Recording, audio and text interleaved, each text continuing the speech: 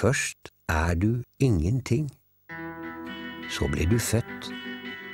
Så tar du dine første skritt.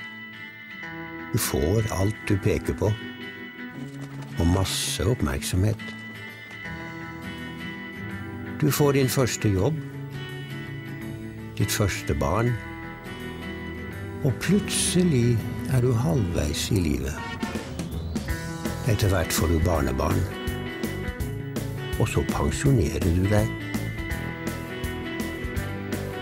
Så flytter du på gamlehjem. Du blir mer ensom og unner deg bare det aller mest nødvendige. Du blir dårligere til beins, og til slutt forlater du denne verden.